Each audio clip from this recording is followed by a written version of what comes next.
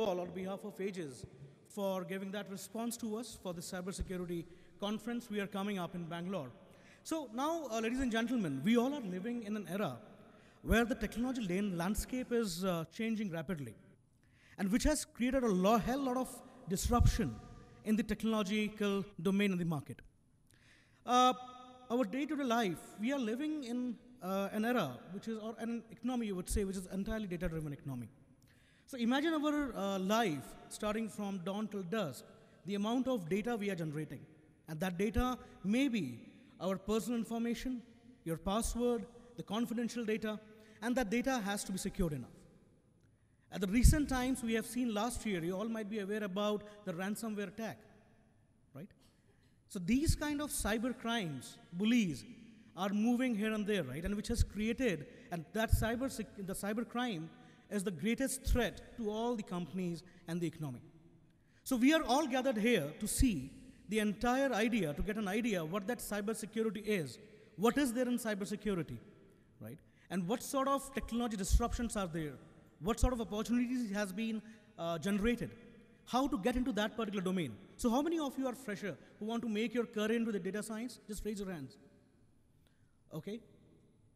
And how many of you are working already in cybersecurity? How many of you? Brilliant. And how many of you who are working and want to do a transition to that cybersecurity? How many of you? So brilliant. We have a huge, amazing gathering, right? All right. So we'll see the entire session. It will be a long and uh, exciting day. Uh, enormous, tremendous speakers we have with us, the cybersecurity gurus, if we talk about. So who will walk you through that what is that cybersecurity all about? What sort of technologies are coming up? How to secure that data? So the entire sessions will be there. So uh, I'll just quickly uh, set up the entire show flow amongst with you. So we have divided this entire day in three halves. So the first half we have uh, mind-boggling key talks. In second half, similar key talks, we have the panelists, uh, we have amongst us the speakers. So this is how the show flow will be. So without making much ado or wasting much of your time, I would like to invite uh, for the opening note Mr. Bhupesh Daheria. He is the CEO of Aegis School of Cybersecurity, Data Science, and Cloud Computing and Telecommunication. May we please have on stage, sir, to, uh, for the opening note. Can we have a round of applause, ladies and gentlemen? Thank you.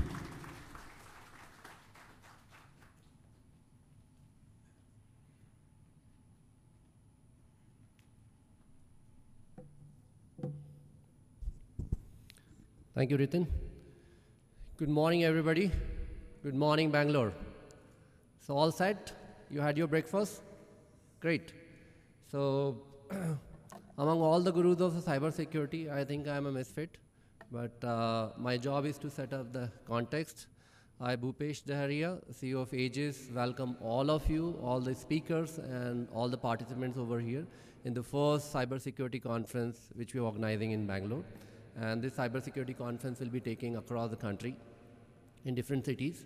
And the whole idea is to uh, create awareness about cybersecurity and how this uh, security, cybersecurity, information security is taking up the shape. So I'll be setting up a context.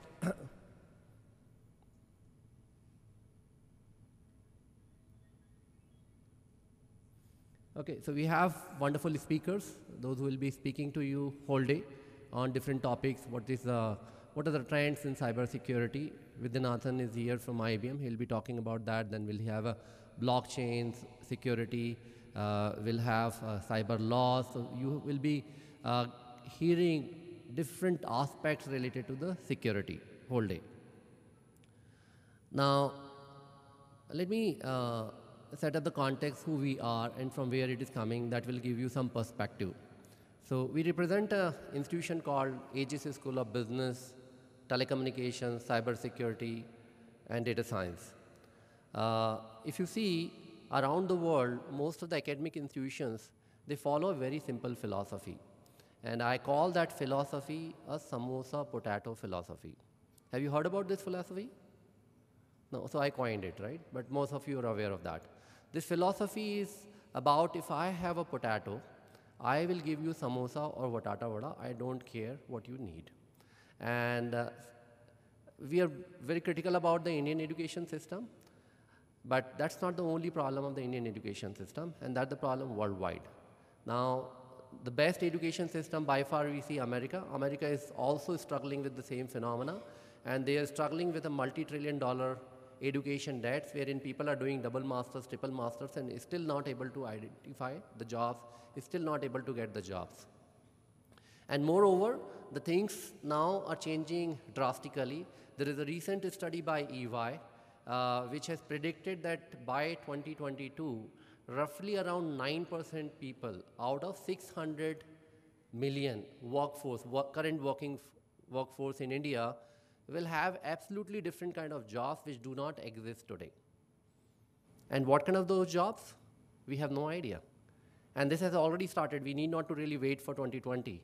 Today, you have jobs like uh, computer vision engineer, you have jobs like a data scientist, you ha have jobs like a cyber security data scientist. These kind of jobs, we never heard about that. We have jobs like a computer vision engineer, we have machine learning engineer. These kind of jobs were not in existent in India even four years back. Data scientist was non-existent even in North America, say 10 years back. So the world is changing drastically. This is roughly around 37% people of this 600 million workforce will have the same job designation, but underlying skills will change. And I'll show you, if uh, I have a time, that how the underlying skills in even existing jobs are changing. How the networking security professional or how the cyber security professional or information security professionals underlying skills are drastically changing. We'll see that. So coming back So when we started in Aegis in 2002, we realized that we will not follow this samosa potato philosophy. And for that, we joined hands with Airtel. So Airtel, Bharti supported IIT Delhi uh, in same year, and they rolled out the school of Bharti School of Telecommunication Management. They supported us, and that's how we started India's first uh, Masters in Telecommunication Management program. This program uh, was quite successful worldwide, and seeing the success of this program, later in 2015, we married IBM. And of course, we produced very healthy babies. So we rolled out India's first uh, postgraduate program in data science, business analytics, and big data.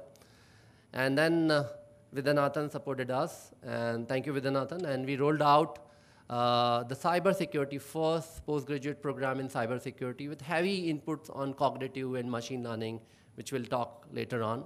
And the whole idea was to really give something which industry needs, which business needs, which society needs. At Aegis, our mission is to produce students and our faculty members, those who are solving the social problems, business problems, and government problems. And that's what our objective is. Our objective is not to become number one or number two. We are not in that race. Our objective is that our students and faculty members need to solve social problems. And I am proud to say this June, we uh, introduced one app called Kojo. And this project, Kojo, is to basically stop human trafficking, child trafficking. And most likely we'll be doing the pilot in Vijayawada. Uh, 15 days back, we also rolled out another project is basically skill map, wherein uh, you can put your curriculum and you can identify what are the gaps of existing curriculum with the industry need. And we rolled out a framework called AI-driven curriculum design. And I'll show you how we have come up with our own curriculum. And that model, we are uh, proposing to give it to AICT, of course, free of cost, so that you can actually know whether you're doing this course will lead to the job or not, or what are the gaps. so it has been wonderful journey. And uh, Aegis is not into higher education, we are also, also into the skilling. We are partnered with Telecom Sector Skill Council. We have trained thousands of people on multiple skills, on optical fiber, networking, and different areas. And cybersecurity is nothing new for us. It's, it has been already a part of telecommunication management, but now it has come up in a different avatar. Uh, we are number one uh, institution for data science in Asia Pac region. Uh, of course, in India, we were the first one. Uh, we have a proud partnership with IBM. Now we have also joined hands with NVIDIA, AWS, and uh, which is a leading company for robotics. And robots are also susceptible to, say, attacks. So instead of that uh, Lynx standing outside saying hi it can shoot you as well, right? So we need to really protect it, right? so these are our uh, proud industry partners. This is the program, data science uh, program we rolled out. This program we run in Mumbai, Pune, and Bangalore, of course. Uh, this year we also rolled out India's first applied artificial intelligence, machine learning, and deep learning program. And this program is primarily targeted towards building up AI applications, perhaps like building up a recommender system, building up a conversational AI, uh, building up a chatbots, uh, building up a video analytics platform, those kind of stuff. And primarily it is uh, intended toward the software engineers, those who want to build the smart softwares.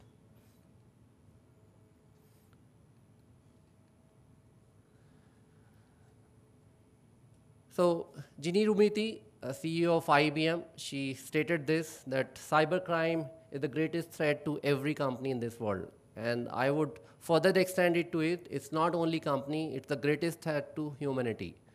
Now, today's war and tomorrow's war are no more going to be fought on the feet, right? Although we'll be building up a armies, but today's war and tomorrow's war are going to be cyber wars. No man will really put their feet on ground. These wars are going to be the cyber wars, and we started seeing that it is happening. So if somebody really attacks our banking system, we actually can't imagine the kind of damage it can really have. And we started seeing those signs in uh, isolated uh, stuff, right? It's still, there has been a lot of virus, uh, ransom virus, and there's no crack for that, right? Somebody sitting in a remote location and you don't know where they are, and they make you hostage, right? So these are the reality of the today's world. Now, if we see from the job point of view, there are a lot of freshers. So uh, I put up a poll on uh, Facebook, and uh, I realized roughly around uh, the number one topic which people wanted to really hear is about the postgraduate program in cybersecurity, and the second topic they wanted to hear about is what is cybersecurity. So I'll just set up the context before Vaidyanathan takes over. So uh, cybersecurity is among top 10 jobs worldwide. Currently, uh, so Vaidyanathan was telling me that uh, roughly around a million jobs uh, are unfulfilled jobs here in India, predicted by NASSCOM. And this is Cisco's report that 6 million jobs worldwide are today available. And by uh, 19, 1.5 million jobs will be unfulfilled jobs worldwide. But now Vaidyanathan corrected me, that's 1 million only in India, forget about the worldwide. So these are the realities. In any other sector, in any other areas, you don't have these kind of uh, job requirements. If you consider, say, one of the fastest growing area, which is data science, in data science, hardly you have in this country roughly around 29 to 30,000 jobs against 1 million jobs. There is no comparison about the kind of jobs you have in cybersecurity. And there is a wide range of the jobs which uh, our speakers will be talking about. Now, how many countries are there worldwide which has crossed a trillion dollar GDP mark? Any idea? There are hardly 10 countries. Those who have crossed a trillion dollar mark, and India is one of them. And there are only two companies worldwide which has crossed a trillion dollar market cap, not even revenue, market cap. And see the impact. $6 trillion total damage will be led by the cybersecurity. Means this $6 trillion may be like 100 countries' GDPs. it will be wiped out. And that's the kind of threat we are talking about. Right? And this threat is much bigger than any kind of war. Right? So there will not be any third world war. There will not be any atomic bomb which will be blown. There will be third world war will be of cybersecurity war and it will not happen one time it will happen keep on working and it will make a lot of people it will bring a lot of people below the poverty line and it will make countries vulnerable and bankrupt now iot there are a lot of estimations roughly around 200 billion IoT devices will be there by 2020. And these IoT devices, your refrigerator, your electricity, your car, your robots, uh, your Fitbit device, all these devices will start behaving erratically. Imagine that you're going in a driverless car and somebody took a control on your driverless car. And, and you have no control. Your brake fails. so I'm not uh, trying to really promote the world which Elon Musk is really talking about, but there is a possibility for that. There is a huge possibility for that. Now, so I will not be talking about what is information security and cyber security, tons of the definitions out there, right? Uh, uh, what I will be talking about, what the world is trying to really protect. So whole day you will be hearing about information security and cyber security. So this is the framework which we created at R-Aegis, right? So we are not going to bound ourselves with multiple definitions about cyber security or information security. Now, what are the foundation blocks? What we are trying to really protect? We are trying to protect money, we are trying to protect infrastructure, we are trying to protect network, we are trying to protect applications, applications which is running on this mobile phone. Somebody should not really get into my mobile phone and start dealing, stealing my personal information at the same time my work-related information. So we're trying to protect everything. We're trying to protect our website. We are trying to protect data. There's a lot of data breaches happening. And today, data is oil. Today, data is a diamond. Today, data is a gold. We are trying to protect data. Where this all these things is putting up? In cloud. So we are trying to really protect cloud. Cloud has become our new home. We have to really protect cloud. We have to protect IoT devices because all these IoT devices are spread, right? And robots and cars. I have not put robots and car into IoT devices because robots has got a, uh, they can be lethal. Now today, uh, thousands of robots are working in homes. Thousands and thousands of robots. And there is estimation that majority of the routine jobs will be taken over by the robots. And imagine a house help working inside your home and makes you really hostage. So robots remotely controlled, like say this Lynx, which you can really see outside, it, it gets connected with Amazon Cloud. And then it responds to you? Then you have to really control the access. Then the most important thing, which a lot of uh, cybersecurity certifications don't talk about, is the most important thing is people no matter what advancement we can really do in the technology, if we don't protect our people, if we don't really make them ethical, no cybersecurity system, no technology can really prevent any kind of attacks. Because humans are vulnerable, humans can be corrupted, humans can be influenced, right? And we are working in all these things, we are trying to protect all those stuff under the backdrop of this. This is the foundation people, machine, and laws. Laws are going to really govern that what kind of technologies you will be implementing and what is the kind of sense of urgency is there. Just like in financial sector, the laws are much more stringent, right? Then machines. So a lot of attacks which are today happening is led by the machines. And that's where you need to really have the inputs about machine learning, artificial intelligence, robotics into this uh, domain. Because the kind of data today you're dealing it is beyond simply it's beyond imagination and a competency of a normal human being to comprehend and predict from where the next attack is going to really happen right? Machines are going to really help to identify the human behavior right? How these humans are really accessing the systems you can identify the anomaly and of course people we need to really, beyond the cybersecurity, we need to make our people ethical.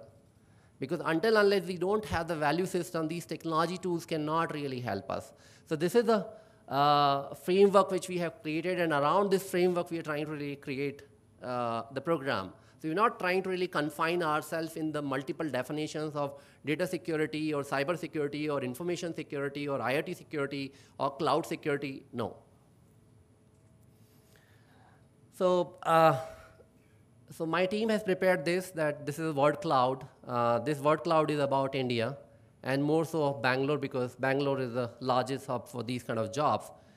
When you search for different kind of jobs in cybersecurity or information security, these are the words which comes out in the different JDs. So we, we, we mined thousands of job descriptions related to any job, whether it is a network security or information security or ethical hacker or cyber security, and these are the prominent words which are coming, right? Network security, cyber security, Python, right?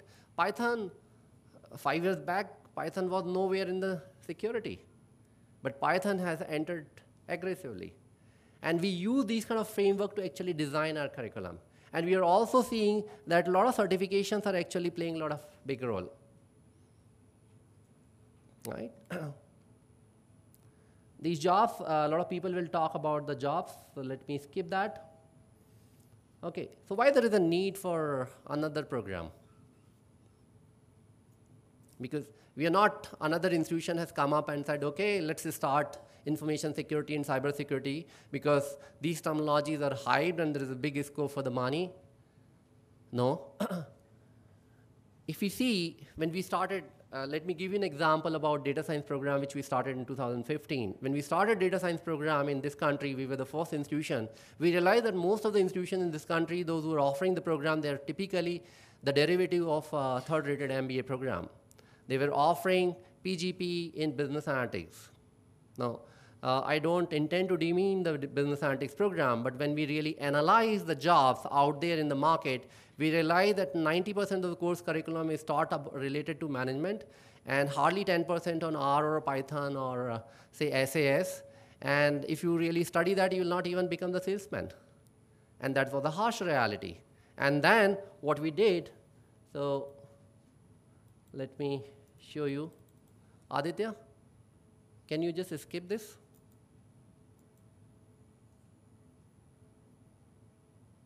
Come out of the PPT mode. Okay, open the browser. Okay, just leave it. I can control from here. So see, this is a real-time skill matrix which our team has built. Now let me show you for data science when we did for the data science. Okay, so this is the data science skill matrix we created. And can you see in in this whole skill matrix related to data science, AI, and big data, and business analytics, can you really see anywhere marketing analytics or operations analytics or HR analytics is appearing? Nowhere, right? The top skill is Python, SQL. A lot of industry people are being critical about the university that everything which is taught is all useless.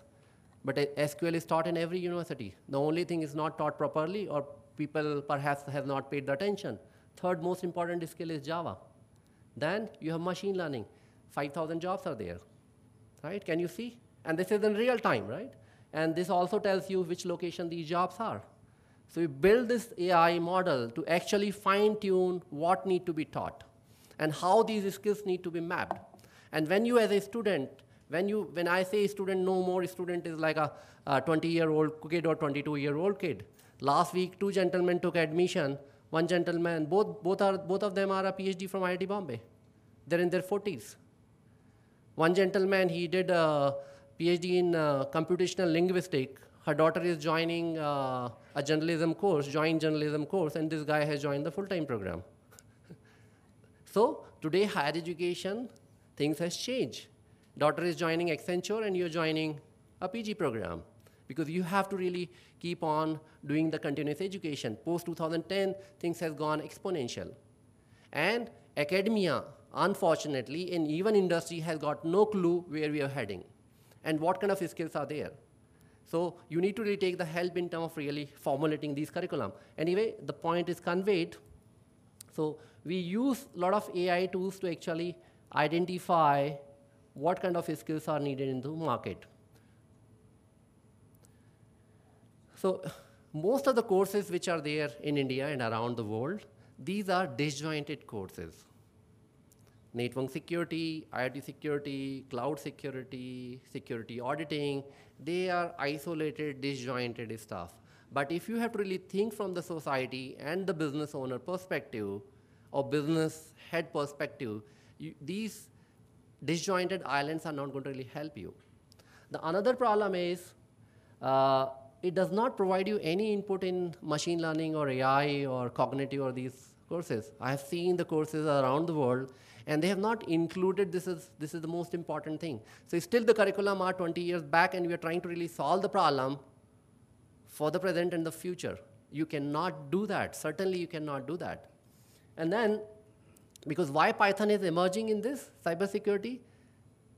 Because Python is a tool for the machine learning. and by the way, the data scientist for cybersecurity is the highest paid job.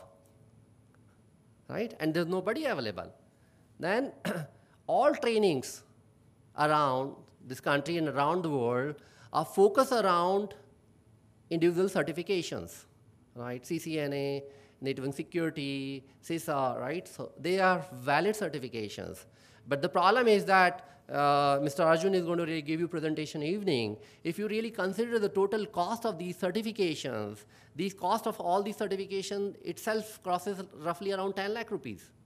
And forget about the training. And most of these certifications require to really wait for an experience of two years or three years.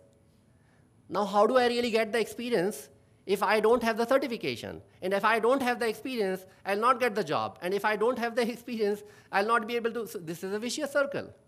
And why, where the hell in Gita or Quran it is written that I have to really have two years experience, three years experience, then only I can really go and study the security audit? If we need to rebuild the next generation leaders, we need to give them the holistic understanding. And that's what education is all about and let me figure out, let these kids figure out which area they're good in, whether they're good into network security or say uh, IoT security or cloud security or governance or audit, and then let them slowly and gradually grow. And as they gain the experience, perhaps they can also get the certifications if needed. But today, the industry, the way it is moving, like for example, again going back to the success of data science program, in data science there is no certification available because it just happened four or five years back. And today, when companies are coming, so we are number one, companies don't care about this number one. Companies care that I don't want to know what you have studied, I am interested to know what you can really do for me. And they ask the student to open the laptop, run the code, show the project, show me what you have done. And that's where the industry is growing. So why we should really waste our dollars, hardened dollars, in terms of getting the certification. If needed, we'll do that. But if we have the skills, if we can really demonstrate that, slowly and gradually these clutches of the certification will go away, right? so with this whole background, and of course there is a huge demand and supply gap, we rolled out this postgraduate program in cybersecurity in association with IBM. And uh, this program, the certification, joint certification comes from IBM and Aegis. And uh, this program is a 45 credit unit program. We have no association with UGC or AICT or any government body. And that, by design, we have kept it for last so many years. Our board chairman was a vice chancellor for Indore University for 10 years. Our dean founded IIM Indore. Uh, he was a professor for XLRI. He was a director for Tata Institute of Social Science Dean for Tata Social Science, and we collectively decided that we want to keep ourselves away from any kind of government bureaucratic structure because by the time you change the curriculum, the relevance of the curriculum is over because we keep on changing the curriculum every three months. We give immense freedom to our faculty. We say, okay, what do you think, what is important? And you have a passion, you have expertise, come and deliver that right? And, and we also try to really see whether those skills are actually needed in the market. Our AI engine refreshes every 72 hours. So we, it gives, keep on giving the different insights. So we follow the 45 credit unit global structure. Within in evening we'll be talking more about that, uh, how you can really apply, what are the different components. But this program is one of the most holistic program. All master's degree in North America, they're typically 36 credit unit. This program is 45 credit unit. You can even go for the PhD programs. So we are delivering this program in full time. part-time and online. So full-time program, we are starting, we are glad to announce that 20th of September, we are starting our first full-time postgraduate program in cybersecurity here in Bangalore. And then we'll be uh, rolling out our part-time programs as well, which are weekend classes, uh, deep applied theory, heavily backed up by machine learning and cognitive and those kind of stuff. 11 month duration, and we cover almost everything, right? We cover almost everything. Uh, there are two approaches. Uh, one approach is, if I study so many stuff, can I really become a expert in all those areas? It is like uh, becoming a jack of all and master of none. But that's what the approach of education. But we are trying to really combine these two approaches. We are saying, let us build the holistic leaders, and that's what we have been doing in every our program. So you cannot become an expert in all those areas. On 10 scale, perhaps you will reach to four or five, and then based on your interest, because you don't know where your interest lies, because you have not seen most of this stuff. Even those who are working 20 years in cybersecurity has got no idea about the relevance of machine learning and they can't really code it. So you first get the exposure and figure it out where your interests are, where your competencies are, and there where the experts will going to really help, and then focus on one or two areas. So you get the 360 degree exposure, you become a cross-functional leader in cybersecurity, but then to really, you have to feed your stomach and to showcase that company that yes, I can really do something. So you do projects and you specialize into say network security or IoT security or a cloud security or security audit or machine learning for a cyber security or cognitive area or couple of tools. So that's how this whole program is being designed. We also give you extensive input into the laws because laws, if you don't understand the law, if you don't understand the society, what kind of system you can really develop? If you don't understand the business, if you don't understand the how banks operates, and under what kind of laws are governing this banking system, it is very difficult to actually design the holistic stuff. So we don't believe in this silo, say, uh, assembly line approach, wherein you uh, give super specialized one person, keep on telling him only networking security, and then he, uh, he gets too deep into that, and then his ignorance actually makes him egoist. And then he sees that rest every other thing is useless. So somebody who spent say 20 years in network security is his expert. He doesn't have the exposure. And how he can really take over and become the head of the security who has to really deal with the, all the aspects. So that's what our objective of this thing. So we have noble yashashri and ritin over here. Uh, feel free to really talk to these folks any questions? So I think I have finished quite early. So I can take one or two questions, or we can really talk offline over the tea and lunch. Thank you. Thank you so much. And I invite Mr. Vaidyanathan to deliver his keynote. Thank you, guys. Thank you so much.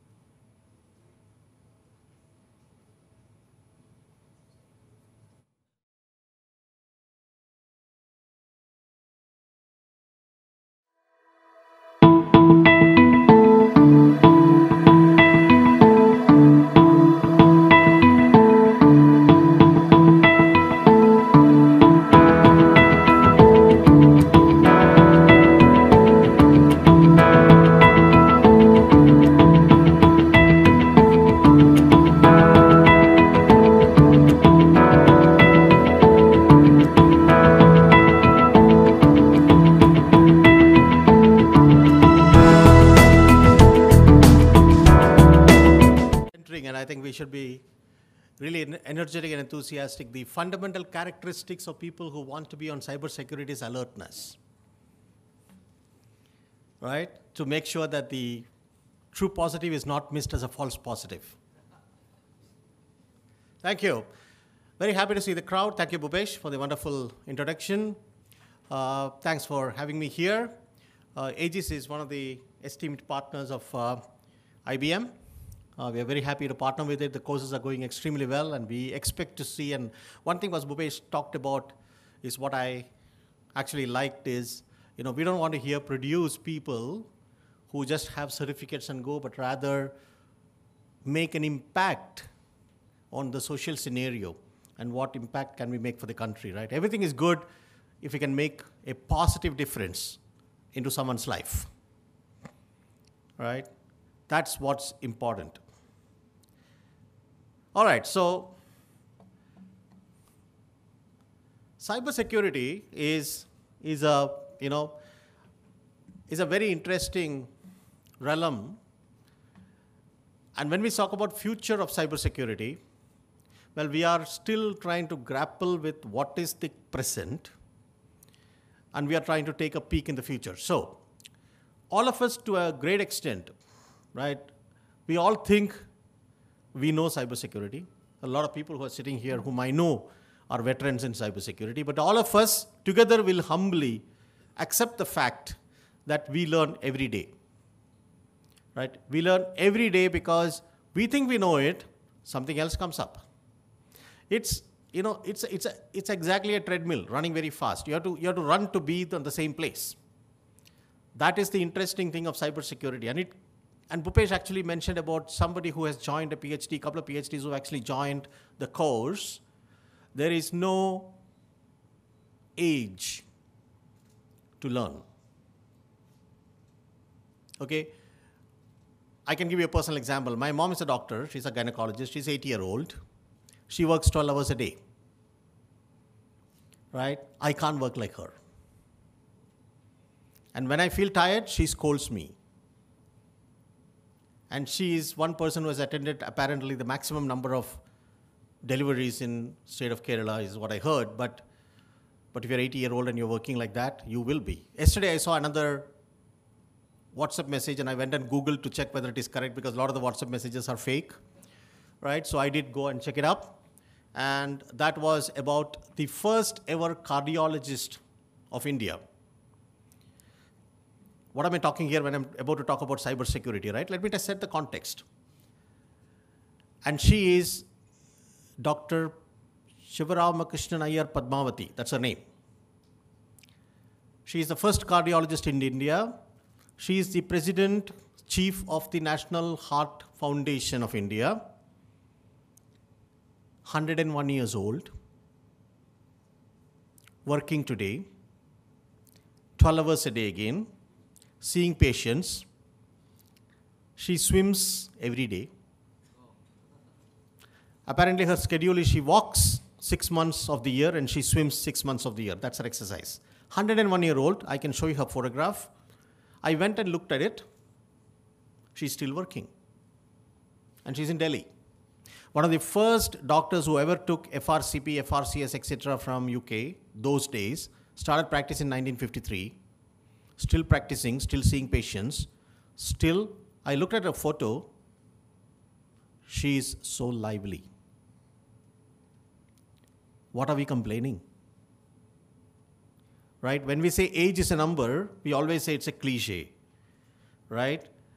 We always say people try to cover up their frustration of aging by using the statement that age is just a number. Age is just a number. Understand that. There are standing examples. For me, my mom is an example. Right? For me, this doctor is an example. I saw another doctor, Russian, 92 year old gynecologist, still doing cesarean, and the youngsters go and learn from her, and apparently her fingers don't even tremble when she does the surgery. It's all in the mind. So, a lot of you guys sitting here are too young very young, right? You have a long life ahead. Never give in to this feeling that, look, I'm old, I can't study, I can't learn, I can't do this, I can't do that. There's nothing like it. Our epics is all full of it. You know how old was Bhishma Pitamaha when he fought the Mahabharata battle? Nobody knows. Maybe 200, 300 years old. Right? And for 10 days, these guys couldn't even kill him he had to kill himself. What has age got to do with it? Right? So it's all in the mind. History is replete with it, our epics are replete with it. Right? There are people who are living amongst us replete with it. You heard an example of people with PhDs joining the courses now. You can see people, I, I you know, when I went to Harvard for a course, I could see a lot of people in their 60s and 70s coming and taking course. Very enthusiastic, much more energetic than us. At least was more energetic than me. I wouldn't say us, but more than me, right? They're all inspiration. And the good part is cybersecurity will keep you on your toes. It keeps me on my toes. Because every day I find something new. And I'm going to talk about a few things, right? You will hear a lot of things. You there are people experts here talking about artificial intelligence. You know, there are people who are talking about blockchain. There are people who will be talking about uh, IoTs and stuff like that, right? All these are technologies in the present at the same time in the future. So let's now look at what is the future of cybersecurity, right? Anything and everything is outcome driven. Anything and everything is out, outcome driven, and whatever human beings are have found is always extending a particular thing which we don't have. Remember this every invention, invention, not even discovery, is also an attempt of enhancement of the limited human ability. Let me explain. Automobiles, transportation is because my legs can carry me only so far at a particular speed. If I need to overcome that, I need to have machine help. There come the automobiles. So the purpose outcome is the same. I need to reach from point A to point B in a particular time. That's the outcome. You can walk, you can run, you can cycle, you can take a train, you can take a flight, you can take a bus. But there are multiple options available. But does the outcome change? The fundamental ability of the human beings to move from one location to another got enhanced. Now, flight, Wright brothers, of course, there's a major debate going on in the country. Is it Wright brothers who invented or somebody, you know, in our Puranas invented flight, right? That I will leave the politicians to fight over it. But when the Wright brothers invented the flight, what was the inspiration? The bird, the eagle. If they could fly, the human beings, can I use air transport? I cannot because I don't have the wings. The wings have become the hands. Right? The hands of us is the wing of the bird. In the evolution, the wings, as we became more terrestrial, the wings became the hand, and we lost the ability to, right? Fly. So, but uh, still, how do I do that? Airplanes came. I am bound by gravity. How do I kill gravity, escape velocity? Rockets came. So, everything is an extension of what we already have. Tell me one single thing what we never had which has come. Think about it. Take one hour. I'm still trying to find that out. So cyber security, computers. How did computer come? Why? What was the need for computer? Our brain can do so many tasks because we are developing, we are moving ahead, we need augmented abilities to get more skills, more brain power. There came the computers. Computer is nothing but mimicking the human brain to an extent. Human brain is most, one of the most fantastic creations in the world. It's very difficult to even find out what it is. Right? But computers are an attempt to mimic that. So when we go and develop, as much as the threats are there, if I have a flight, I have threats on the flight, flight can crash. If I'm automobile, I can have accident. If I use my brain, the brain can get into brain fever or any of the problems, vaccines, problems, viruses. So cyber world is nothing but an extension of the realistic world in which we live in. So similar problems will perpetuate to the cyber world. Hence, cybersecurity.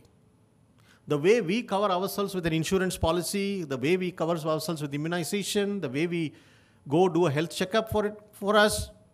I hope all of us do that. Most of us don't do that. Okay, the way we keep checking for diabetes, by you know blood pressure, etc. At least at my age, I need to go and check it up. Right. So the same thing is what you do by cyber health check as well. Is your system robust? And as we progress, we will see what are the more things which we need to cover up. So, outcome. What is the outcome of cyber security? Cyber business, right? First is I need to prove compliance. There are a lot of practitioners here who will understand what I mean. Right? Am I safe enough to be done business with? Simple. If I go and shake hands with a person, especially if you if you go to certain international conferences, they, they, they need to be sure that yes, you can you could be shaken hands with, not that you are carrying a disease. right? So in any any of the places, it's very common that put the sanitizer in front. Use the sanitizer. Right? That is because they want to make sure that you're not carrying your your sweat doesn't carry virus to them. Right? That's why I like Indian culture because I always do namaste. Very safe. Right? Incidentally, it is considered today, you know, we need the Americans to come and tell us what it is, right? They consider now namaste as the better form of greeting. Oh, now we say, oh, yeah, yeah, yeah, that's right. Right? So, prove compliance. I am complying to the standards. Right? I am protocol driven, I'm complying to the standards, you can do business with us. If you go to a hospital, if you think the hospital is unsafe, they use unsafe needles, and there have been five deaths in the hospital, God forbid, I will not go and lie in the hospital. Because that hospital doesn't look to be compliant to me. Right? In IBM, we have a saying that nobody has lost a job for doing job business with IBM. They might have lost the job for different reasons, but not because they bought IBM products. It's a saying, and it's, it's a repeated saying. The reason being, IBM is a safe entity to do business with, is what we mean. Right? Most of the other companies are, of course. Right? I fly aircraft, it could be Boeing, it could be Airbus. Right? I feel comfortable because I know these companies follow standards. I say I feel safe in the aircraft. I may not be safe in aircraft, you know. I know there is a country on the northern side which is producing a commercial jet. Well, I will think, I have to figure out whether I can fly in that or not. Not at launch. Right? So, next one is top threats. Means I can only be compliant if I know continuously that I am stopping the threats. Threats are realistic, real time. Am I stopping the threat? Of course, these two things will help us grow the business. So, Bhupesh talked about when you go into a cybersecurity job, you have to show the company that you're bringing value. And what is the value? The value is I'm contributing to the growth of the business of the company.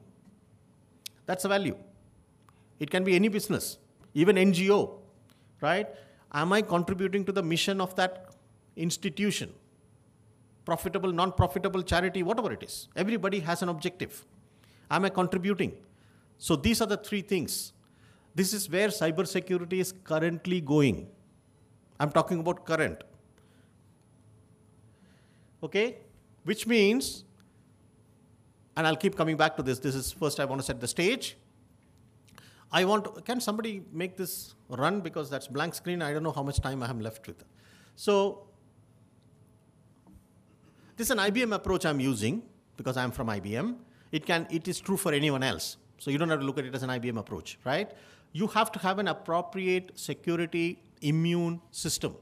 Means my health should be strong.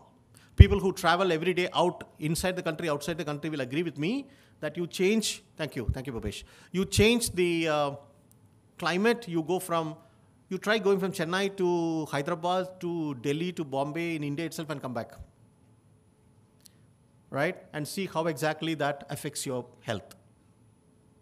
It's difficult. If you go from continent to continent between time zones, it's very difficult. I face it every other day.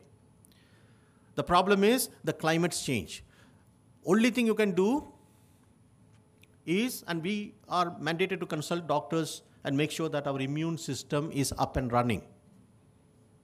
You are not susceptible to infections. The same thing is applicable for the Cyber One. I'll come back to this in a detailed way, right? Then deploy meaningful innovations, and those are the three things that I'm going to come.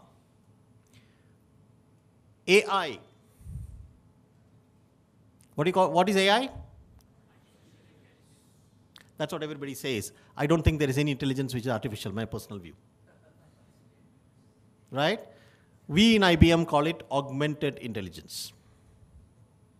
We do use the word artificial intelligence because that's a norm, but we don't consider anything is artificial. Who has produced artificial intelligence in the world? Tell me. Nothing is artificial. You know, you have seen the all the movies, right? Hollywood, Bollywood movies, which actually talk about the alien. Have you seen the shape of the alien? Right? When you see the shape of the alien, the alien will have a head, you know, but you don't know where the head will be. The alien will have some hands equal to fingers, some legs, all the other organs, but probably it could be differently positioned. You know why it is? Because we cannot imagine anything which we don't know. So alien will have two horns or two antennas sticking out of the head.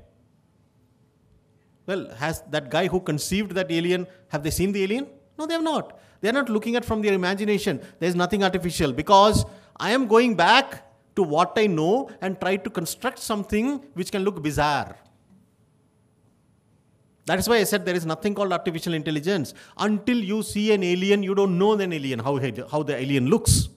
It could be anything for that matter. Who the hell knows? That is why I said, unless we see and our natural intelligence takes something inside, we cannot change it, the form and function or structure of what we know. So there is nothing called artificial intelligence. We augment, we supplement what we know and build on top of that. That's why it's called augmented intelligence. Right? Orchestration. You see this?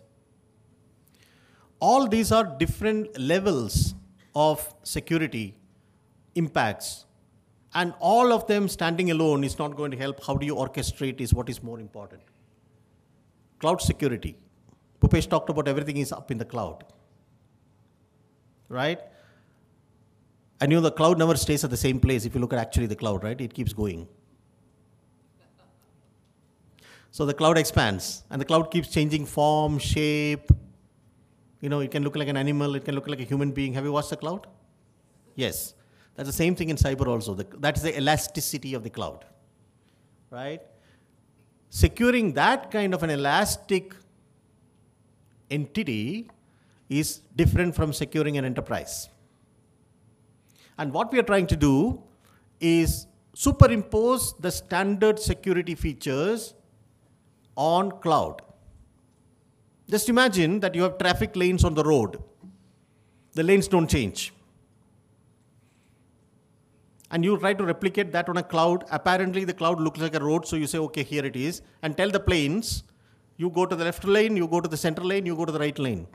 By the time the train, plane takes off, the cloud will have gone. So cloud security is very dynamic. Cloud security is very dynamic, right? The last one is collaboration. Nobody can work on their own. Impossible. Impossible. As cybersecurity guys, we always share our ideas. It's like a doctor medical community. You always need a second opinion, a third opinion. Here, nobody knows everything everybody knows something. That's what we need to look at. Let me go faster. Okay. Now, this is where the orchestration comes. If you look at it, I talked about orchestration in the last one, right? This one? This is where the orchestration comes. This is how it looks. People who are in cybersecurity will know these are the things which actually different areas of cybersecurity. There are different companies who specialize in this, good at this, and they're good at what they do.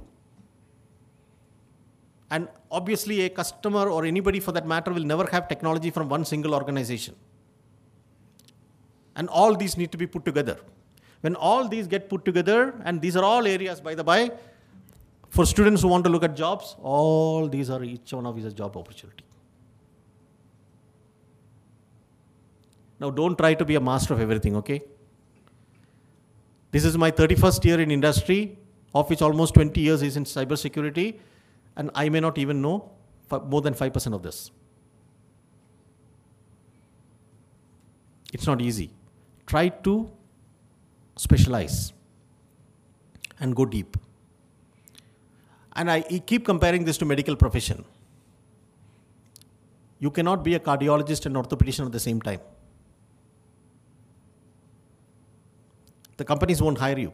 You won't go and do an op- heart, open heart surgery with an orthopedician, however good he is or she is. Thank you, doctor. You're good, but let me be safe. I'll go to a cardiologist, right? The same way, if you are an expert in application scanning, application security, stay there. Go towards security, sec DevOps. Just give me an option, right? Don't try to develop as a network security guy. The only commonality is that network transmits the application. And you have network layer and application layer if you go to the OSI model. Those are all the commonalities, but that doesn't mean that an application security expert can develop as a network security expert. If there is one, then I would salute that person because that person should be exceptionally good. Right? All right. Now you need to beautifully organize this. When you organize this, the centerpiece is security orchestration and analytics. When I talk about analytics, I'm not talking about business analytics. I'm talking about intelligence security analytics. Because, as I told you, the key in cybersecurity is being alert. A false positive should not become a true positive or vice versa. even false positive as a true positive is still manageable. A true positive becomes a false positive and you leave it, you're dead. Attention to detail is what is a security analyst hallmark of success.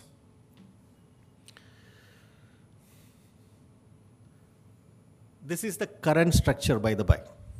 I'm not still come to the future. Okay, so of course, these are technologies from IBM which touches this. There are technologies from other organizations also which touch a lot of other points, right? We believe all technologies from almost all the vendors are equally good. The idea is whether that drive to get the business outcome that we require. Ah. There's a very interesting terminology that I used. What is the future? But in bracket I put current Okay, because every day it's changing. What I saw yesterday is not what is what I saw today. Two days back, we heard British Airways got hacked. All the data got stolen. God forbid, they're compensating by the by. Right? And they're GDPR compliant. If somebody says, give me 4% of your turnover or 2% of your turnover, British Airways will be history. right? They won't do that. But just look at the tension that British Airways guy will be going through. Not even worth that tension, right? So, here, what's the current? Because I'm saying what, because we are not even current. We are archaic. We're ancient. Okay? And I'll tell you why the meaningful innovations is what we need to bring in. So this is going to be the current future. I'll talk about future future, right? So three things I mentioned, augmented intelligence and orchestration, cloud security and collaboration. These are the in things which are actually happening today. Why it is current? Because everybody is aware of this. Why it is future? Because we are still getting there. We are still getting there. So let us look at augmented intelligence and, and this one, right? Use AI to gain a head start. Now you saw experiment on how ages. I didn't know that, Bhupesh. I mean, you're using in artificial intelligence or augmented intelligence to see how exactly. See, there is a fine difference between augmented intelligence and artificial intelligence. I tell you that artificial intelligence doesn't exist. But once you augment the intelligence and that intelligence becomes self learning, then you can take the liberty of calling it artificial intelligence. Because then it exists on its own, right? First, it comes as augmented intelligence, then it gets into the self learning mode, machine learning. Then it starts building on itself. That part can be called artificial intelligence, right? So, you have to automatically investigate incidents. incidents. As I told you, the cybersecurity guy has to be very, very sharp, alert, which is humanly impossible. I cannot maintain the same level of alertness at this time and maybe afternoon 2 o'clock. Right? So, you need to use augmentation. So, that's why to get a head start. In IBM, have you heard about a technology called Watson? IBM Watson? That is supposedly the pinnacle of augmented intelligence. That's being used, you know, in India, I can talk about Manipal Hospital, which is used in oncology department, right? Uh, Sloan Kettering uses it in US, right? Singapore government uses it for uh, when you actually go, if you want to go to the Singapore government website and say, what should I do to enter Singapore? Chat box comes, answers come. Nobody's answering it. It's Watson who's answering it from behind. So that is the pinnacle of technology. We are leading it. There are other entities which actually, there are other organizations which are also into the artificial intelligence domain. There are different uh, technologies which are coming up. Google is one which is, uh, which is, which is also along with us leading it quite a lot. They're doing it right? Uh, almost all the larger companies are getting into this. It's not easy. It's not easy, right? Respond quickly with confidence. The orchestration. What if an incident happens? Okay, for example, in cybersecurity world, there are always you use words like event, incident, and all that, right? For people who are in cybersecurity, is event an incident?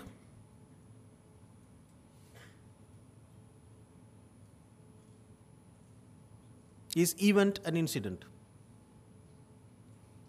My teacher in cybersecurity is standing on the right extreme side. I'm not asking him.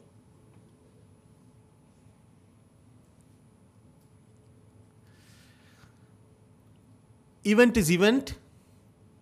Event becomes an incident. It can become an incident. It may not become an incident. Okay, and true positive and false positive. Just think of a very simple example. You have a dog, a German Shepherd trained to guard your house in the night, a leaf falls, the dog will bark. Natural reaction. You will get up. Oh, somebody has come into my house.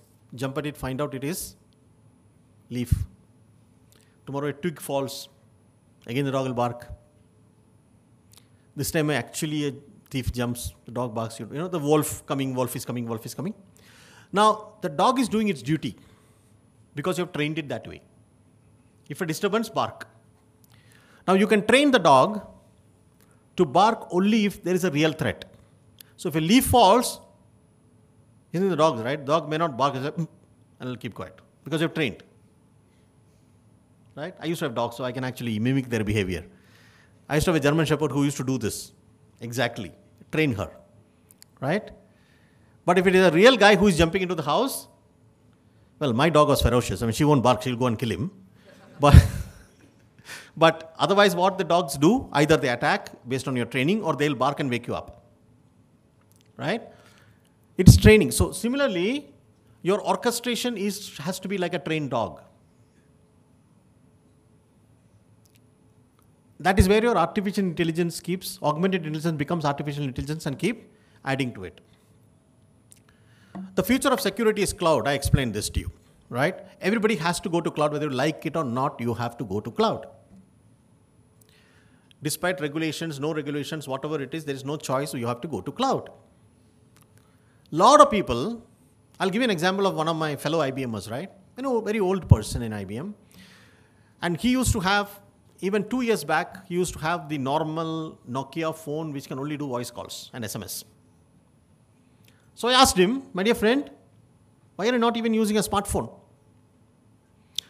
So he asked me in Hindi, यार phone का उपयोग क्या है मेरे को बात करना है मेरे को मैसेज देना है That is the idea of the phone, and I have it. I don't understand why you guys use these smartphones. So I didn't answer him, you know. There is always, you know, in Sanskrit, there is always this Tarka Shastra, if you know Sanskrit, right? There is Tarka, which is logic, Tarka Shastra. There is Vada, argument, Prativada, counter argument, and then there is called Vitanda Vada. Sanskrit. Sanskrit has one of the best logical arguments in the world. Vitanda Vada means you argue for the sake of arguing and it is logical fallacy. You know what's logical fallacy? Logic is A is greater than B, B is greater than C, so A is greater than C. Logic, right? Okay, I touch Bhupesh, Bhupesh touches Noble, I touch Noble. Logically correct? Realistically not correct, right? The same logic A is greater than B, B is greater than C, so A is greater than C is correct. I touch him, he touches him, hence I have touched him. That is logical fallacy. If people have learned logic in college, will understand that. There is logic and logical fallacy. Right? One of my friends did that to the professor, but the example he used was very, very, you know, vulgar, so I don't want to take that. But that is what, and the professor actually get, got him out of the class. So the fact is this, right? Logic and logical fallacy. The logical fallacy is so he was actually using the Vedanta Vada when he said, I will not go to the master. So you can't expect. Then one year later, I saw him. He has the latest smartphone in his hand. Then I asked him, my dear friend, what happened? Phone का उपयोग क्या है आप क्यों use कर रहे हो ये then his answer was, he, he, you and I today cannot get out of the smartphone. Only thing you and I can do, which we are trying to successfully do, is not to become addicts. All of us are, right? Five minutes, we don't see the phone, flip it out of the pocket. I'm controlling it. I'm not flipping it out of the pocket yet. Right? So, that is the tendency. Today, people don't look at each other. You have seen the mobile zombie zone? When people, right? I've seen it happening multiple times. Especially you come to the EGL office of IBM. You know, you just understand. Five people will come and bash into you because they're looking. Right?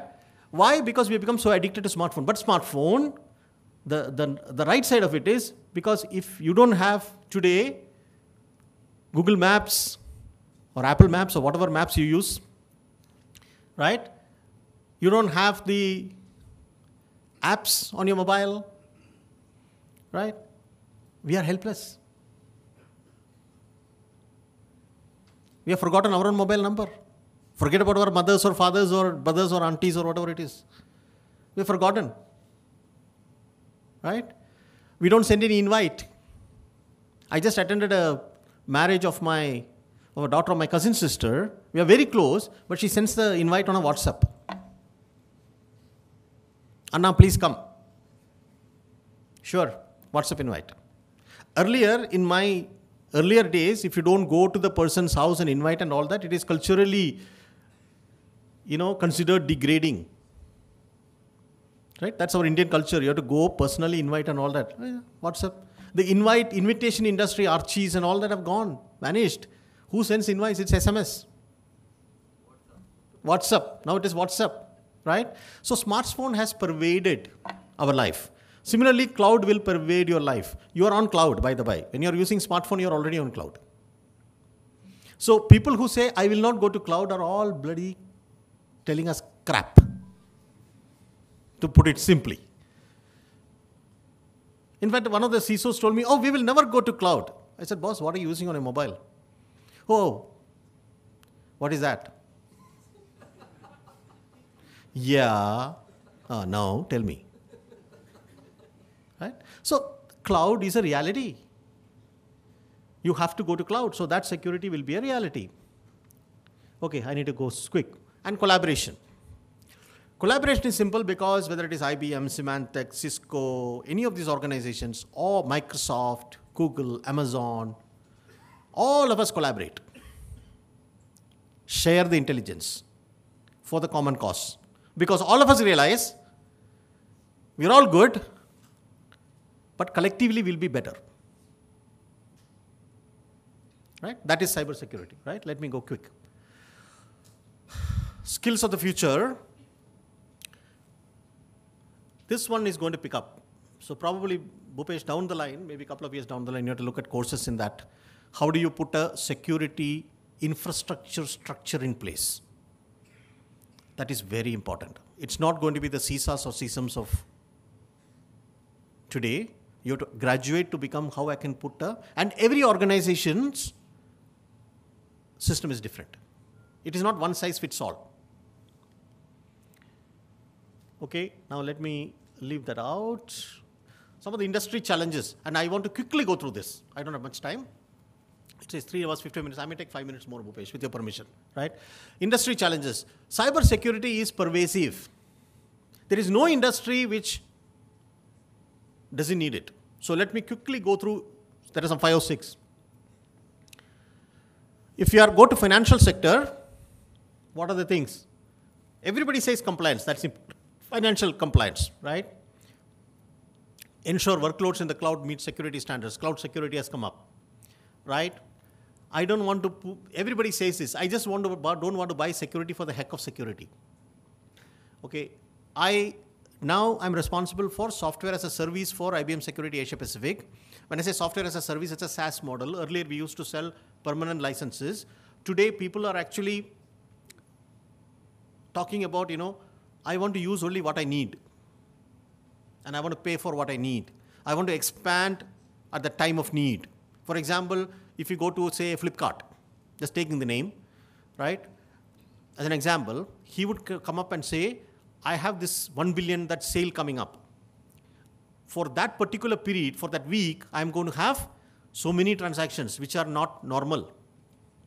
I want computing power, I want security, enhanced security for that week. Why would he bother about it beyond that week?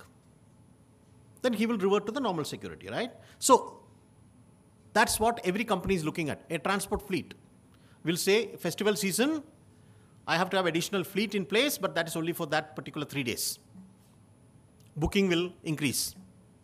So everybody has their right side of the boom, right? Standard security frameworks and controls.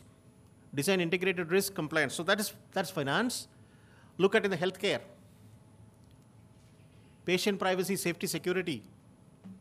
You know where it got breached just now? One month back? Singapore. Singapore. Can you believe it? Including the prime ministers.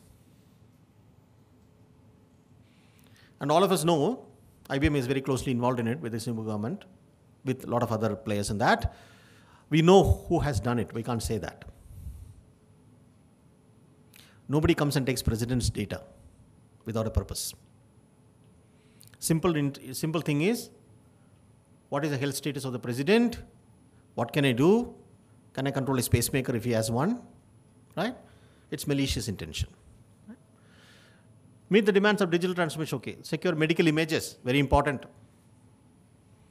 If today I can get Indian prime ministers or Indian presidents or Indian defense ministers or anybody for that matter, medical image, I can predict what it is right? Okay. Life science sector, not the medical sector. Life healthcare sector is different from life science sector, right? This is IP, IP protection. Most of the organizations have the IP protection. Very important. Talk to Pfizer, talk to Biocon, talk to Reddy's Labs. IP protection is extremely important for them, right? This is important. You talk about IoT security, right? Integrated cyber security with IT, IoT, and IoT devices as far as the life science sector is concerned. There are a lot of, as he said, a lot of artificial limbs doing stuff. And you have seen the Frankenstein monster. You want a friendly monster, not a Frankenstein monster. All right, government agencies. Can't talk more about it. Today in India, the Prime Minister himself is the votary of enhanced cybersecurity, right? State and local government. So federal government, which is national government, is different. State and local government is different. Energy and utility industry has different challenges. Retail and consumer product sector. It also tells you which are the sectors which are looking for cybersecurity experts. You know, nobody is left. Nobody is left. Telco, media, ent- entertainment. Aegis is very closely associated with the telco sector. Telco security is now one of the one of the thing is coming out is 5G. Right? With 5G comes additional security. 5G security is not 4G security. Travel and transportation. I mentioned about travel and transportation, right? That's another sector which is absolutely, you know, uh, for example, have you heard of a company called Maersk? They got hacked. The big company, European, right? Automotive. We work, IBM works very closely in the automotive sector. He talked about driverless cars, somebody takes control. I only, I've only seen it in some Telugu movies. right, where the car will go, the ghost will take control, the car will go on his own, stop in the middle of the road and all that, right? But you don't require a ghost, you just require a cyber ghost. It will still happen, right? All right, manufacturing. Everybody says, oh, manufacturing is, you know, old standard industry. Sorry. They are state of the art. Especially Samsung has actually put up the largest mobile manufacturing plant in Gurgaon. Samsung will not do it if they don't, if they're not comfortable with the security standards of the country. And especially with the Make in India initiative, which is hitting, a lot of manufacturing is happening. If the country doesn't back it up with cyber security framework, no global company is going to set up manufacturing facility, right? IBM has set up clouds, data centers in the country. Microsoft has set up. FB is setting up. None of these guys will set up if we feel the pipes are not secure, country doesn't have secure standards. So that takes a volume about it, right? To maintain that will require people, local people, right? So that's that's important. All right. So I modified it a little bit. I talked about current and future. Now I talk about actually current. You saw about it, right? So current itself, we are nowhere. But innovation is not going to wait for us. So we go to the future. What is future? One of that is actually current, but actually is also future is blockchain. Now let me be very, very clear, okay? Bitcoin is not blockchain. Please. Blockchain, oh, Bitcoin. That guy came first, so you think he's, it's like, you know, let me Xerox this paper. Why are you advertising for Xerox? Xerox is a company name. The right word to say is, let me photocopy this paper and come back. Right? And, this is how the company becomes a brand. The brand becomes the industry. Xerox is a good example, right? And uh, the other one is Bitcoin is blockchain. And especially, you know, in the paan shops, if you go, Bisleri they, they are. Actually, what you want is a mineral bottled water. It, it can be Aquafina also, right? It can be Kinley also, right? Why Bisleri? Parle did a very good, you know, those guys did a Bisleri, sorry, Bisleri did a very good marketing. So you think Bisleri is what it is. So blockchain is not Bitcoin. Bitcoin is a usage of blockchain. There is another blockchain called Ethereum. There are multiple blockchains which are available, a lot of blockchain technologies which are available. Now, there is, uh, where is Kavita? She's going to talk about blockchain, right? So she's expert there. And, but I want to tell you that blockchain is not as safe as it is made out to be. Right? The reason is blockchain is hack- hackable. Ethereum got hacked. Right? The idea of blockchain is what is a blockchain? I perpetuate the cryptography across by using multiple mining situations in multiple chains, store it across multiple people. So to break that trust is going to be difficult. It is not in one place, right? So what did they use? they use something called, so it says that hacking, hacking is thus difficult, but apparently. Now, Ethereum got hacked because they used something called an eclipse attack. What is an eclipse attack?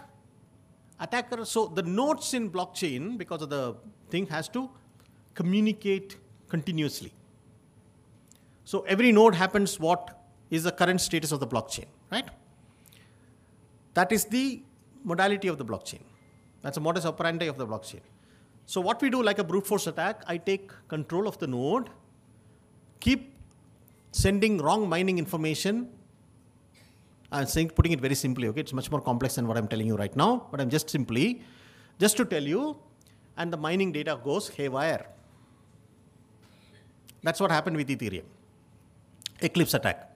On target, they attack the AC controls, the air condition controls, IoT device.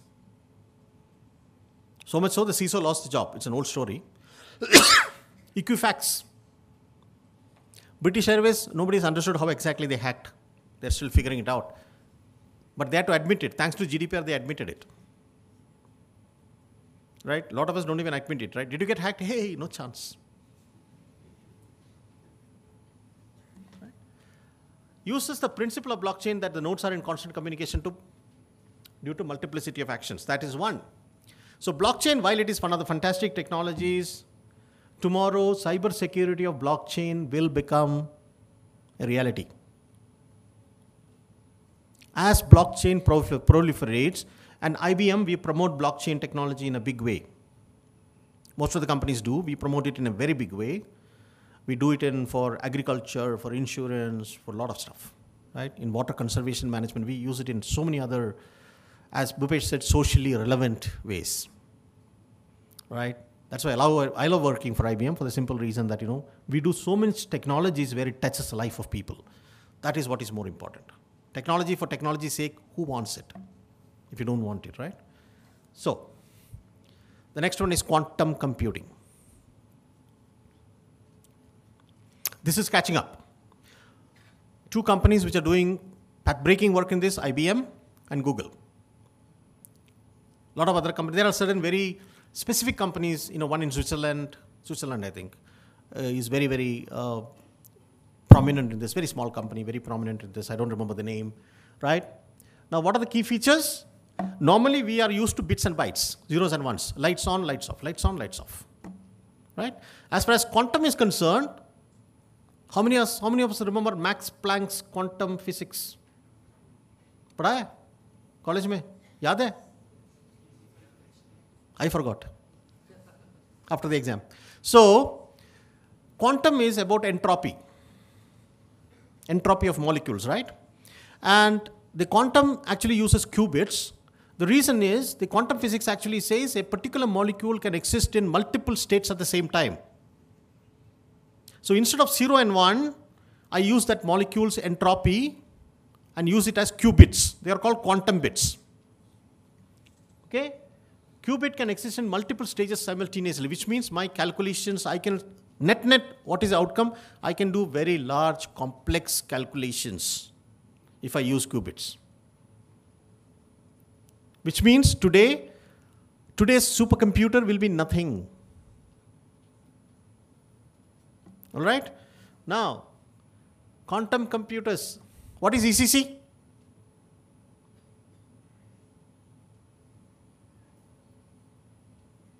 Aspiring cyber security guys. Elliptical curve cryptography. That is what we use today. There is RSA cryptography. RSA was a leader in this, right? ECC is what all of us use. Today, all the cryptography is basically ECC. You know, you have heard about public key, private key. Satish took a class on that to me. So, when I was doing CISA, he was my teacher. So, I remember he was actually teaching me public key, private key. I didn't understand. He was getting wild. So, I passed Satish. So, anyway, so quantum computers can can be used to break ECC encryptions. And already the quantum hack has happened. So encryption should move to, so one of the technologies is we need to start the ECC encryption to make it quantum enabled. It is possible. Now China is one country who has leapfrogged into quantum technology by the by. They're very advanced. They actually have set up a satellite to send quantum encrypted communication back to the country, which means you can't really hack it. US doesn't have it, India doesn't have it, Russia doesn't have it, Israel doesn't have it. Think about it. So look at the faster way they are growing up in the chain. Very fast, right? So new area would be quantum cryptography. So in a couple of years, please look forward to Aegis coming up with that course. Right? No, they completely change. Blockchain is okay. I'll I'll let uh, uh, they explain. Quantum and blockchain. Quantum is a formula of computing. Blockchain is more of setting up a unbreakable uh, communication chain. And it is fundamentally the objective of the blockchain is to have a what do you call it? Um, uh, trusted access without a trusted uh, entity driving behind it. For example, how do I do trusted banking which is not regulated by a banking regulator? So Bitcoin is a currency which no central bank of any country regulates. Right? Ethereum is a currency, but I can still do transaction. I still set up exchanges. So it is a parallel. It can set up a parallel economy in in that financial realm. In medical realm, I can set up an unbreakable, safe way of transporting my IPs, etc. So that is a mode of enhancing the trusted activity, managing access in a much more secure way. That is what the fundamental objective of a blockchain, right? Whereas in quantum computing, my whole idea is to change the computing to the next realm to make sure that I do the calculations in a much, much complex, easier way, complex calculation easier way. It is not for setting up a ledger or it is setting up a safe communication. No. One of the outcomes of quantum, because I use entropy, is I can be or I could be hack proof. So that is that is a commonality, but the intent behind these two technologies are widely different. So quantum is going in where from the Moore's law, computer is taking, computer is going, you know, it's going up, computation power is going. That's the way quantum is going. Blockchain is going from this access, identity, trust state. How can I, how can I multiply trust without looking at a trust management certifying authority, right? In bank, you have a banking authority. In certification encryption, I have a certifying authority, right? But without any of this, can crowdsourcing help self-certification?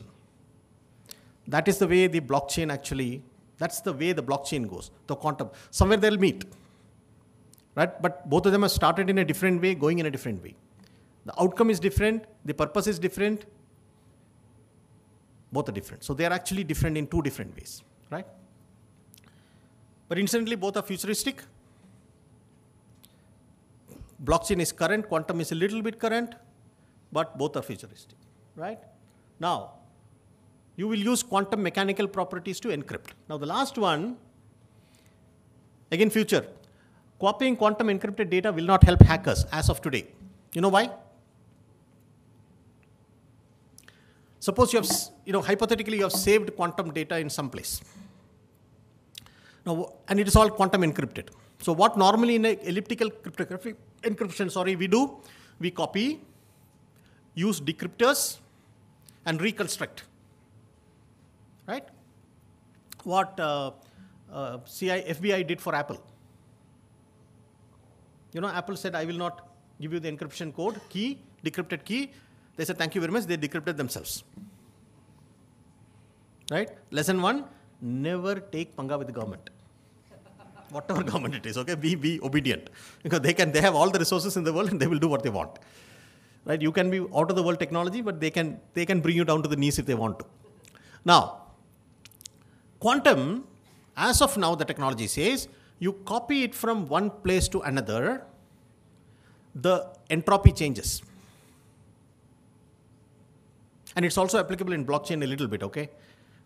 Um, the, the problem is if you, if you, that's why they use the eclipse attack, not to this. But if you move it, the molecular entropy changes. When the molecular entropy changes, it's like your face recognition. I'm just giving a very, very lazy example. You know, if your face recognition is like smiling, and you look like this, it won't open. Because it doesn't understand it is you. It understands the characteristics and the pixels and the recognition of your face, the way you smiled at that point in time, that's what they understand. Similarly, quantum understands that entropy. The, en- the moment entropy changes, quantum will not accept it. So, as on date, people say because of that, quantum encryption is much better. That's why China has set up a quantum encryption. Now, believe me, I'm positive the Israelis and the Russians will find a way out. Every lock has a key. That's the old adage. And that holds good. Right? So, what is the current? Current is we have got a myriad of solutions in picture.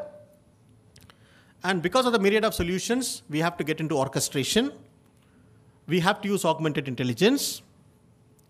And we have to use cloud because we have to be cloud ready. The third one is there should be constant collaboration, whether it is among companies or among individuals or among professionals. Even when you grow up to be professionals, always collaborate because none of us will know everything. And be open to share information, whatever is shareable, to help people for the larger outcome. That is it. Second, how the future is, that is the current, how the future is going. How the future is going? The future will go towards blockchain, the future will go towards quantum. What are the challenges which will come along with it? What is the current knowledge of us about it? What should be the future knowledge that we should gain about it? What could be the pitfalls that can come across? Those are the ones. And when you talk about a million jobs coming up, these technologies are going very fast. IBM will mostly launch a quantum computer in, in one year. We are almost there. Right? Now, when we run the quantum computer, we come out with the quantum computer, the problems will also come out. Because you don't know until you use. Right? We can only do so many things in the labs. Even though we are one of the best labs in the world, you can only do so you can only replicate so many things in the lab. There are a lot of things which will come in the real world which you'll never understand in the lab. Right? It is like net practice is never a match practice. I see the Indian team playing net practice extremely well, but you know yesterday they didn't play well again. When it comes to match, they, they, they break down, right? So, net practice is never match practice. All right? So that's what it is. This is about IBM, so I leave it. And this is the, I want to show you this, okay? Like CMMM and all that, you have security maturity model. You know, you can, you can look at it, it's, it's a very complex thing. It talks about orchestration analysis, fraud protection, identity access management, data protection, security, endpoint protection, network protection, mobile security, as we know today. This is current future. This is not future future. So you are, if you if you want to go as a security player, as a security consultant to your organization, you should know these places and you should know how to set up the security maturity model. You should be able to understand what is the current security posture, what are the gaps, and how you can get the organization up to the maturity model like this. That itself is a humongous task. Humongous task. Especially if you go to larger organizations, which, is re- which are really like federated, different people managing different things, very difficult. I just spoke to one of the largest, uh, one of the global CISOs of uh, one of very large automotive, Japanese automotive company in Japan. He has just taken charge and he was telling me, Vaidi, I don't understand because every country has a CISO. Every country runs its own security and I am supposed to orchestrate it. And he's one of the most experienced CISOs I've seen in the world. He is struggling. It's not easy. And especially, think of that company, a Japanese, very large automotive company, which has been there in existence for close to 100 years. How easy it is. It's so much cultural complexity, stuff like that. It's not easy. So it is, I said, there is no dull moment in the job. Right? All right? and we make this bold statement. And we're confident about it. We say we exist to protect the world, uh, freeing you to thrive in the face of cyber uncertainty. Now, forget about IBM. You should be able to make this statement to your company that I will protect the assets of the company while the company can focus on the business. That's what you should be able to go to the board, stand up, and tell them. Leave the worry to me, you run the business. The company's business, if it is if it is a retail company, the retail company business is how to increase the retail business, how to increase my shelf space, how to get prominent things displayed, how can get my inventory management done. That is the worry of the retail company CEO. Right? It is not it is not uh, how my security is. That's secondary for the retail company, right? So always try to be in line with the business objective of the company. Always support the business objective. Never take sight of the business objective. The moment you take sight of the business objective and talk technology, the CEO will say your CFO will say you're talking gibberish. When you present something to CFO, always go and present to the CFO how much money I can save and how much money we will lose if you don't do this. That's a language the CFO understands. That's what he or she is sitting there for. Not because, oh, there is a latest quantum technology and I want to invest in it. CFO said, to hell with you. Who the hell wants it? Right? So, forget it, forget it, forget it. That's it, that's it. I took a little bit more time. Thank you very much. Really appreciate your time. I hope it was good that time's up, time is up has been standing there for quite some time, so I forgot to look at it. I, I decided not to look at it, right? Any questions for a couple of minutes I can take? Otherwise, Bhupesh has my email ID. You can reach out to me on my official email ID, and I'll be glad to respond to whatever I know. And if I don't know, I'll ask some of the colleagues who are sitting here, get answer from them, and give it back to you. That is what it is. I hope there are no questions right now. Yes.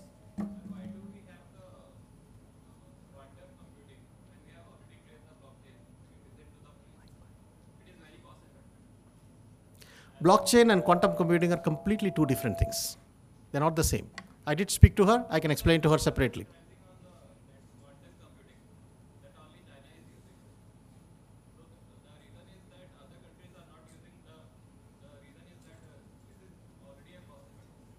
It is not nothing to do with cost effective. It is just that who got to the bus faster.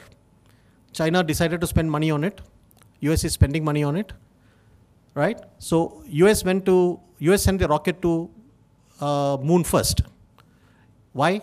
Is it because it was cost effective? Others didn't do it? No, others didn't have the technology. Simple as that. So China is faster. You should accept that he's ahead of us. And quantum and don't confuse quantum computing and blockchain. They're completely different things. They're completely different things. All right. Uh, I've taken a lot of time, so I don't want to take more time. Thank you very much. Have a wonderful session and wish you all the best and hope to see many, many more cybersecurity professionals coming out of this school. Thank you. Thank you. Thank you, Mr. Iyer, for this wonderful session. We